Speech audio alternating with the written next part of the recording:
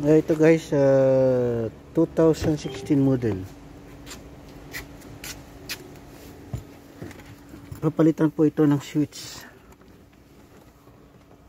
Ito yung switch na papalitan.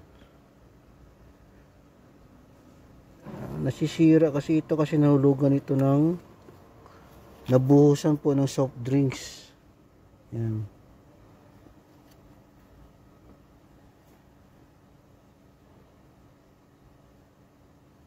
So paano po ito tatanggalin? Napakasimple lang po ito tanggalin. Sasungkitin nyo lang po ito dito. Gamit po itong plastic. Dito yan, ganyan. Then dito po, meron po itong lock sa loob.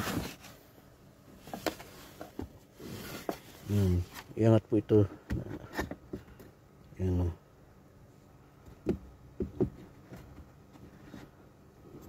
konting ingat lang po dahil nababasag po yung mga plastic.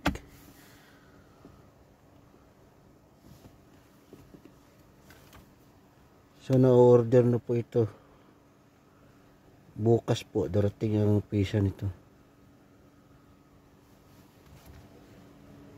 2016 S-Class